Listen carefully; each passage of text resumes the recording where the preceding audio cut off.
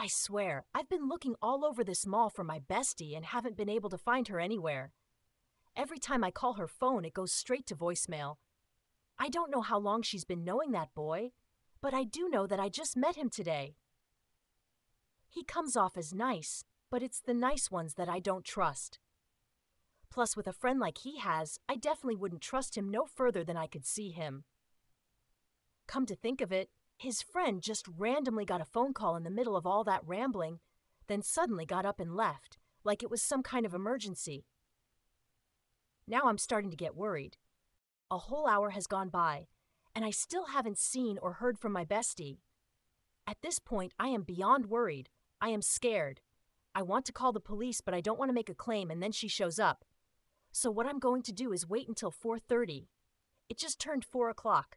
I'm going to go grab a coffee from Starbucks to keep myself calm. If I don't see or hear from her by 4:30, I am calling the police. Is that Rebecca? I did not know she worked at Starbucks. Let's see if she'll give me a free coffee. It is now 4:48 and I just got off the phone with 911. They said that the police should be here shortly. I sure do hope so. I am getting very anxious and impatient. I mean, where could she have possibly gone with that boy? I hope she didn't go into the family restroom with him. That would be very disgusting of her, but I know my bestie is nothing like that. Unlike some girls we know, she has love and respect for herself. That's why we are besties. We are one and the same. Though it's not like her to just disappear on me like this. I swear when I see her, I am going to strangle her and that boy she's with. But all jokes aside, I hope she is okay. Wait, what if he kidnapped her?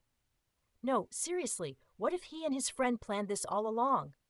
He gets her to meet with him here, bring his friend along to distract me while he gets her somewhere alone. Then he calls his friend and makes it seem like there's some kind of emergency so that he just ups and leaves me alone. Now I'm here looking like a dummy, searching all over for my bestie while she's probably with those two boys screaming for help while being taken against her own will. I swear I have the mind of a detective but I have to stop watching First 48. I'm probably just overreacting, or am I?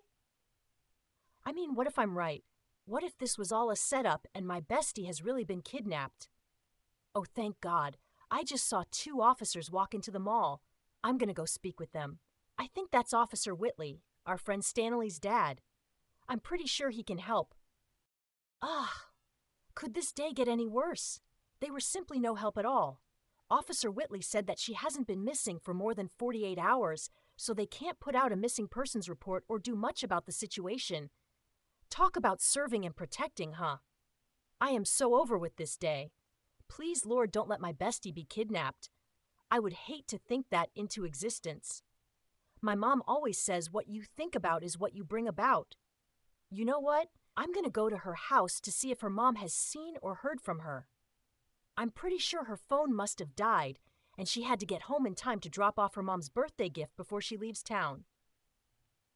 Yeah, that sounds much better.